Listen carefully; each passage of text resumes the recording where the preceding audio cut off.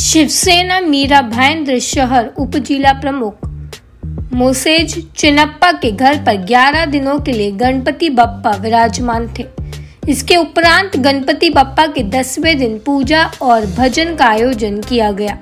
इस दौरान बड़ी संख्या में लोगों ने पहुंचकर गणपति बप्पा के दर्शन किए।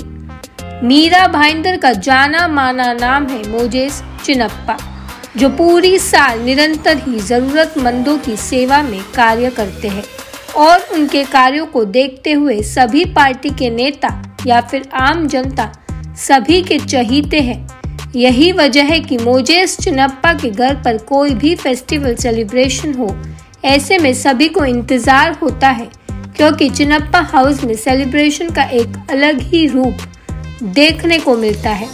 जहाँ कोई भेदभाव नहीं, कोई बड़ा छोटा नहीं, हर कोई, हर पार्टी उत्सव को मानता है।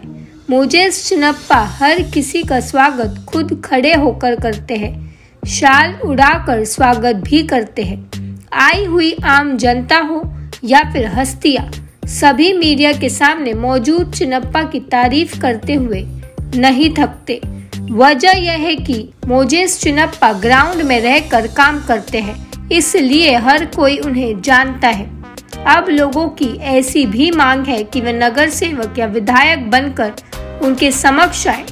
ऐसी एक बात नरेंद्र मेहता ने गणपति बप्पा के दर्शन करने आए उस दौरान मीडिया के समक्ष कह दी।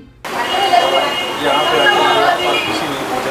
फाउंडेशन में जो कि ऑलरेडी यहाँ से यहाँ गणपति बप्पा का जो यहाँ पे उन्होंने ग्यारह महीने गणपति रखी है और इससे ये कि प्रेम सौहार्द और भाईचारे का एक यहाँ से जो है।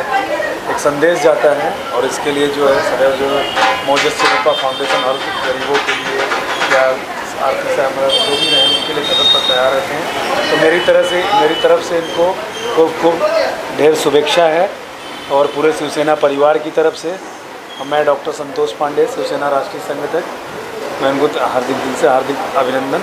मी अमित सोनावणे शिवसेना शाखा प्रमुख। आज इथे मोदी आहे यांचं जे सत्यनारायणची पूजा आहे गणेशोत्सव खूप धूमधामामध्ये सगळीकडे साजरा होत आहे. तसंच तोच गणेशोत्सव आज मोदी सिनप्पा फाउंडेशन किंवा मोदी सिनप्पा यांच्या घरामध्ये खूप उत्साहाने साजरा होत आहे आणि ते आज सत्यनारायणच्या पूजेसाठी आज आम्ही आमंत्रित झालो आणि आज इथे आलो. खूप बरं वाटलं खूप छान वाटलं. खरं म्हणायला तर बरेच लोक इथे आज येतात आहे. बघून खूप चांगलं वाटतं आहे हे कनेक्शन आहे. आणि बापाकडे आज देवाकडे हीच प्रार्थना आहे की असंच मोदी सिनेमा फाउंडेशन पुढे चालू दे. आणि बापांचा आशीर्वाद सगळ्यांना बोलून माझे दोन शब्द संपवतो. जय हिंद जय महाराष्ट्र. सभी को जय महाराष्ट्र. आज जो मोजी चिन्नप्पा जी ने जो है गणेशोत्सव का कार्यक्रम रखा हुआ है आज से उनका सत्यनारायण पूजा है। और मोजी चिन्नप्पा जी ऐसा है समाज सेवा हमेशा करते रहता है। उनके माध्यम से इस शुभ अवसर पर हम सभी मीरा वासियों को गणेशोत्सव का हार्दिक हार्दिक शुभकामनाएँ बोलता है। और इसी तरह मोजी चिन्नप्पा जी हमेशा समाज सेवा करते रहता है। मोजी चिन्नप्पा जी का फाउंडेशन का तरफ़ से और अभी उन्होंने बहुत सारे प्रोग्राम मेरा बहिंदर शहर में रखा गया था। सभी प्रोग्राम में सभी लोग शामिल होता है और सब सभी जगह पे सहयोग करता है और मदद करता है। उसके लिए मैं भगवान से प्रार्थना करता हूँ, उनको खुश रखे, स्वस्थ रखे। सभी का शुभकामनाएं उनका उनको देता है। जय महाराष्ट्र। मोदी सर जे आहेत ते नेहमी काही ना काही प्रत्येक वेगवेगळे कार्यक्रम राबवत असतात. जनावरांसाठी झालं माणसांसाठी ट्राफिकसाठी असे वेगवेगळे कार्यक्रम राबवत राहतात. आणि ते एक वेगळ्या कास्टचे असूनसुद्धा प्रत्येक कास्टचे सण असू द्या काही असू द्या तेव्हार ईद म्हणा बकरी ईद म्हणा हे आपलं रक्षाबंधन म्हणा सगळंच तेव्हार ते नेहमी दिवाळी वगैरे साजरं करत राहतात. आणि त्यामुळे त्यां त्यांना बघून असं म्हणजे काहीतरी शिकण्यासारखं वाटतं म्हणून मी त्यांना थँक्यू बोलतो आणि धन्यवाद देतो. जय हिंद जय महाराष्ट्र. सभी लोग रखना चाहिए पालन करना चाहिए परिसर का संरक्षण करना हम सब लोग का कर्तव्य है। इसीलिए सभी लोग को मैं विनंती करता हूँ इको फ्रेंडली गणपति बप्पा रखें और परिसर का संरक्षण करें। धन्यवाद। ऑफकोर्स पहले महानगर पालिका में तो इनको आना ही चाहिए, क्योंकि जिस तरह से ये काम करते हैं, ये सभी को पता है, ये एक बहुत अच्छे सोशल वर्कर हैं हमारे भाई और बहुत ही अच्छा काम करते हैं समाज के लिए। तो मैं तो यही बोलना चाहूँगी हमारी कम्युनिटी की तरफ़ से कि ये हमेशा हमारे भाई जीते, है ना? और हमेशा नगर पालिका में रहे, और मैं यही बोलना चाहूँगी मैं आई उनके घर पे, आज तो बहुत ही अच्छा खुशी का दिन है। बप्पा इनके घर में विराजमान है, स्थापना की इन्होंने बप्पा की और इनके बप्पा बहुत ही सुंदर है।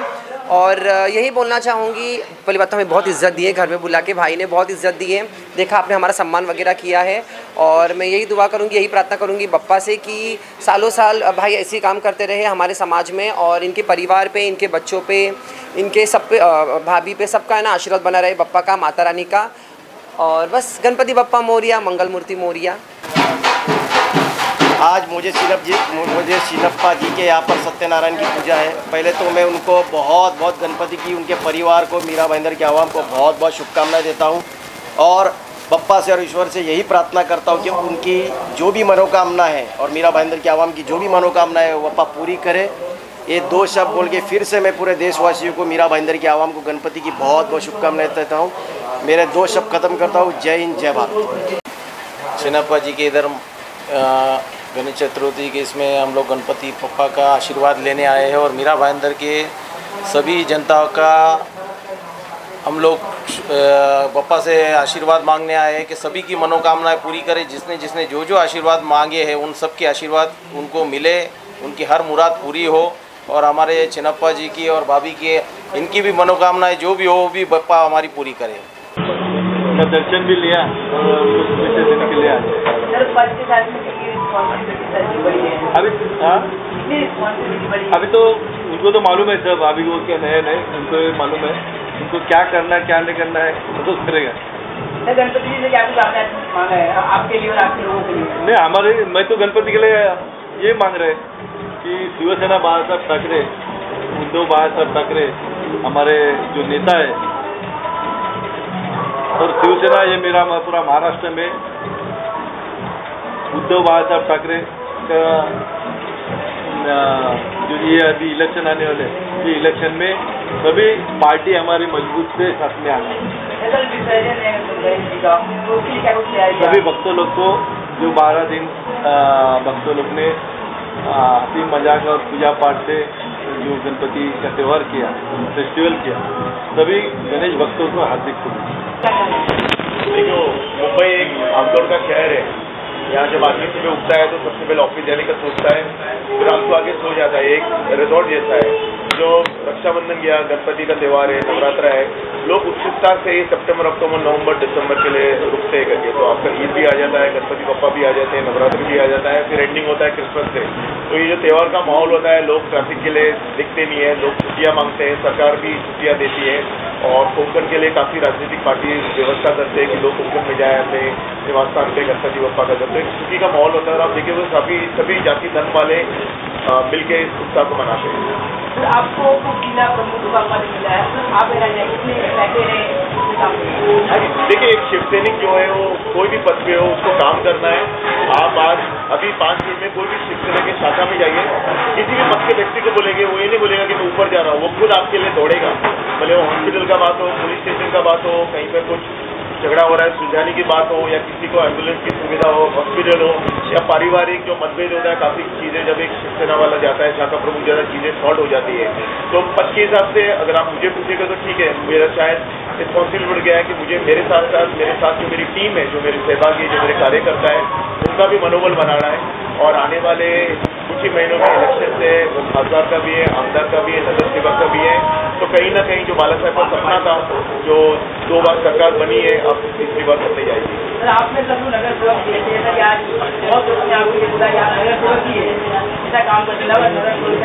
देखिए उनका प्यार है आप आप वो किसी भी क्षेत्र में अगर अच्छा काम कर रहे हो भले वो क्रिकेट हो बॉलीवुड हो राजनीति हो या पुलिस में हो, जब कोई अच्छा व्यक्ति अच्छा काम करता है तो लोग एक दूसरे की उसकी कहीं ना कहीं तारीफ़ है। कितने दिन आप छुपे रहोगे? तो मैं भी काफ़ी लोगों का तारीफ़ करता हूँ जब मैं उनके प्रोग्राम में जाता हूँ या मुझे कुछ बाइट दी जाती है। तो अगर आप अच्छा काम करोगे इरिस्पेक्टिव कौन से भी पार्टी में हो, कौन से भी क्षेत्र में तो होता है। आपने देखा होगा तेंदुलकर धोनी की तारीफ़ करता है, धोनी, विराट कोहली की तारीफ़ करता है। गावस्कर साहब को रिटायर हो गया, पच्चीस साल हो गए, फिर भी आज विराट कोहली का तारीफ़ करता है। तो उसी तरह राजनीतिक में भी आप देखोगे, अगर आप अच्छा काम कर रहे हो तो आपकी तारीफ़ होगी। मैं खुश हूँ कि उद्धव बाला साहब ठाकरे के साथ जुटने के साथ पिछले पंद्रह साल से मैं हूँ। आज दूसरी राजनीतिक पार्टी आप शायद नेताजी आए थे उन्होंने कहा इसको विधायक बनना चाहिए नगर सेवक का इलेक्शन हो तो अच्छा लगा और उनको कोई स्क्रिप्ट नहीं दिया था शायद आप लोग नहीं पूछा था। हालाँकि मैं चाहता हूँ कि आज आप लोग नगर सेवक और ये सब बातें नहीं करें त्यौहार के बारे में बात करें तो मुझे खुशी है कि नेताजी आए उन्होंने बोले इसको विधायक बनना चाहिए अपने पक्ष में करके जो है काम करता है। तो एक मनोबल बनता है। और आगे और अच्छा काम करने का मोटिवेशन तो उसको क्या तैयारी क्या कुछ होना देखिए नगर पालिका कक्षा में और हमारी सरकार जब उद्धव साहब की थी उस वक्त से हर एक जगह पे जब विसर्जन होता है तो इको फ्रेंडली होता है प्लास्टिक का यूज़ मना करते हैं। आप देखोगे कि जब विसर्जन करने जाती है तो नाव का इंतज़ाम होता है जो आप गले में पूरे वेशभूष आप गणपति बप्पा को डालते हैं उसके गले निकाला जाता है। तो नगर पालिका उसका काम करे। हम अपना हमारी तरफ़ से नगर पालिका को सहयोग देते हैं उनको टी शर्ट दे देते हैं नाश्ते का अरेंजमेंट करते हैं। और वहाँ पर पुलिस के साथ हम लोग खड़े रहते हैं। काफ़ी टाइम होता है कि जो भगवान को मानने वाले थोड़ा बेसबर हो जाते हैं थोड़ा घाई होती है धक्का मुक्की होती है तो उस चीज़ को हम संभालने के लिए शिवसेना के जितने भी कार्यकर्ता हैं अपने अपने क्षेत्र में जहाँ पर विसर्जन हो रहा है वहाँ मौजूद रहते हैं। मंत्री साहब मेरे गुरु हैं और पिछले आप आज, आज अगर मुझसे आप पूछे तो मैं दो जन को लिटरली देखता हूँ। एक विचारी साहब हैं हमारे खासदार और प्रबंधन मात्रे साहब हैं जिन्होंने लालच को नहीं देखते हुए हमें एक शिक्षा दी। क्या होता है गुरु गुरु होता है जो आपके वरिष्ठ होते हैं उनसे आपको काफ़ी कुछ सीखने मिलता है। काम सभी कर रहे हैं लेकिन आज जो ईमान का बात आता है तो जो लोग उद्धव साहब के साथ है, वो कट्टर सैनिक है और जो कट्टर नाम है, वो ये होता है कि दिन हो या रात कोई भी परिस्थिति हो, मैं उनके साथ खड़ा हूँ। मातोश मातोश्री के साथ, बाला साहब बाला साहब ने जाते जाते कहा था कि मेरे उद्धव और आदित्य को संभालो। तो जितने भी सैनिक है, जो उद्धव साहब के साथ है बाकी में वो कट्टर सिख सैनिक है। आज मात्रे साहब हो बिचारी साहब हो, सबको लालच मिलता है, सबको ईडी का डर दिखाया जाता है। और ये लोग हमारे साथ खड़े हैं, हमें प्रोत्साहन दे रहे हैं और हमें कह रहे हैं कि कट्टर किस तरह से मीनिंग कट्टर सिख सैनिक का क्या होता है सर शिवसैनिक के शिवसेना है, शिवसेना तैयार है सर। शिवसेना तैयार है, कभी भी तैयार है। मीरा भाईंदर में हमारी शिवसैनिक है एनी टाइम तैयार है, कभी भी इलेक्शन हो तो इलेक्शन के लिए तैयार है।